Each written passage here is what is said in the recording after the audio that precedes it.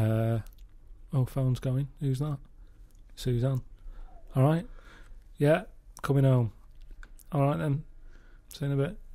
She'll go.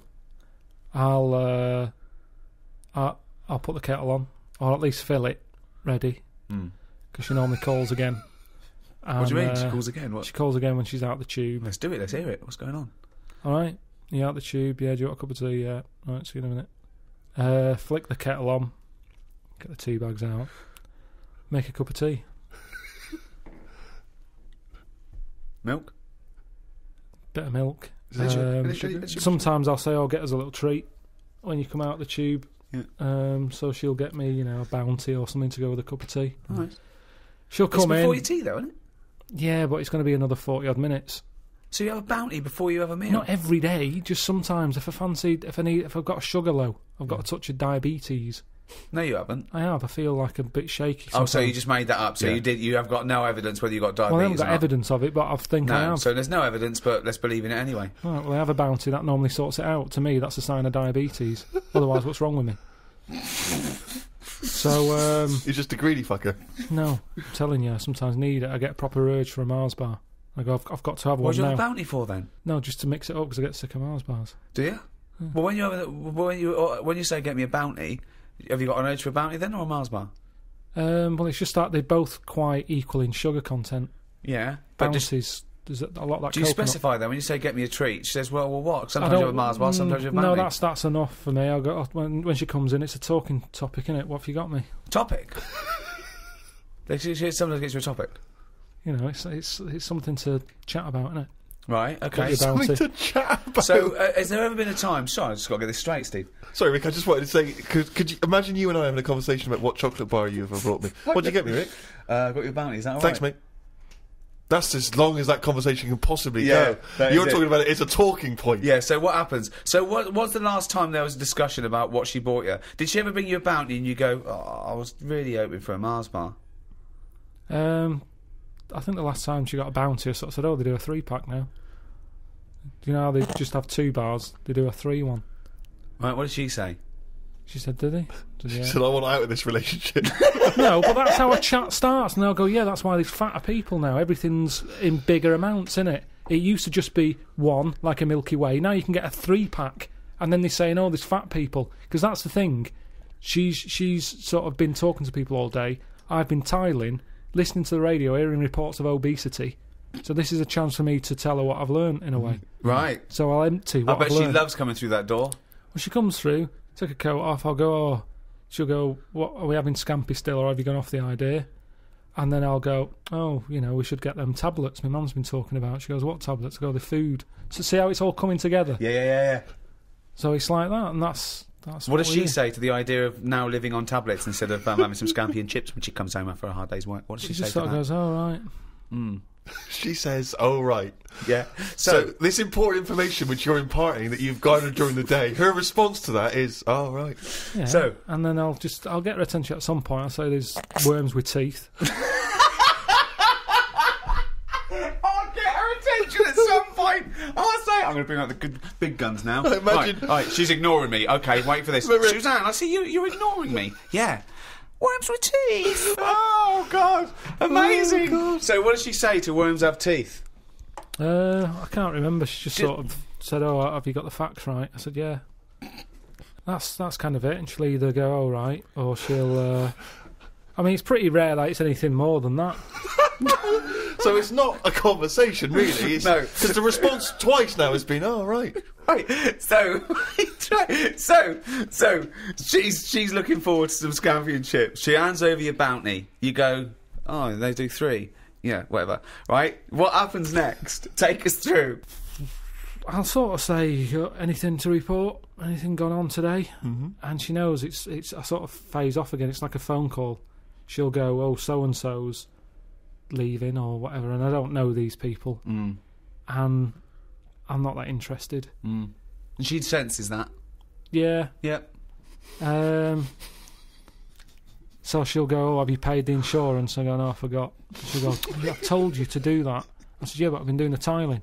She's going, yeah, but you didn't, weren't meant to do the tiling. I asked you to sort the insurance out on the washer because the washer keeps breaking. Um, and she won't let me fix it, even though I know what it was. It was a heating element. I said, I know, I know how to fix that. But she was going, no, I don't want you messing with it because it's if you flood the kitchen out, it's you know makes a mess. So anyway, so I've got to sort that out. I still haven't done it. I should have done that today. Uh, then have a game of crib.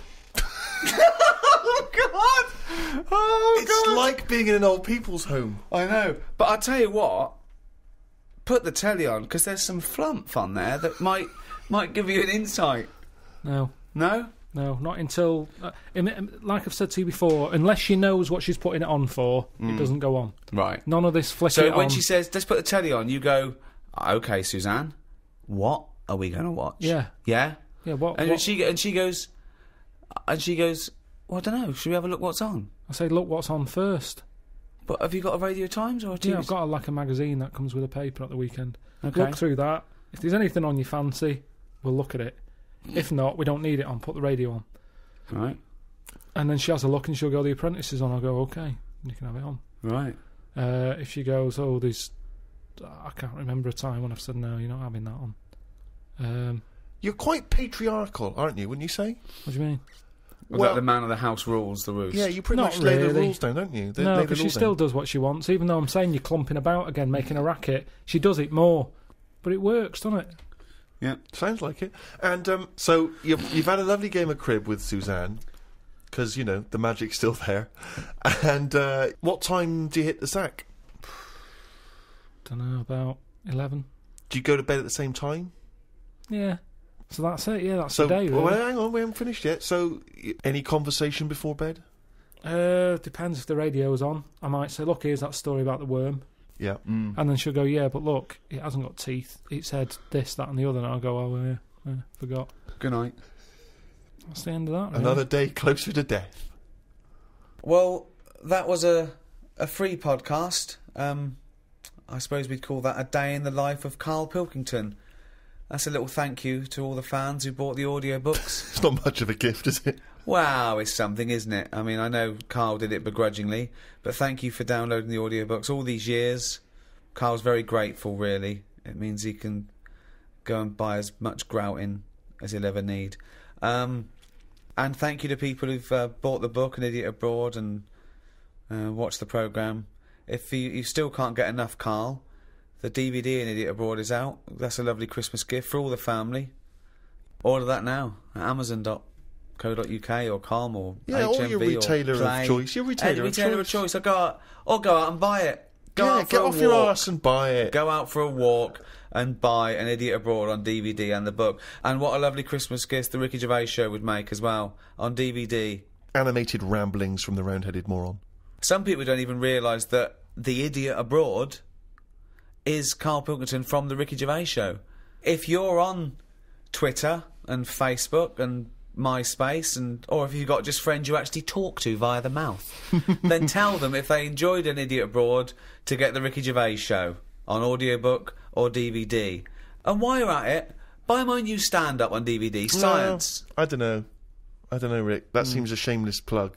Yeah. Well, what was all what was all the other shit then? Yeah, that was just talking to the fans. That's because you get a third of all the other stuff. all right, let's not talk. Let's not reduce it to money. Hmm. Carl's on it. On what? On the uh, science DVD. I've done a special program where I interview him for science, which is amazing. Um, but my favourite bit is probably when uh, he meets Warwick Davis. His little, I stitched him right up. He thought he was going to have a talk about science. We hid Warwick, right? Well, that's was not hard, is it? we had to keep him in a different room, and then Carl sat down, thought he was talking about science, and I went, got a little fella, and Warwick walks out, and your little face, and Warwick confronted him over some of the uh, words he's used. Midget. Yes, I remember the famous uh, midget hippopotam- hippopotamus story. Yeah. I'm sure you used the word midget there far too many times. Yeah. So there's a few things to buy at Christmas. Go out and buy one of our DVDs or books. This was free. Now pay for something.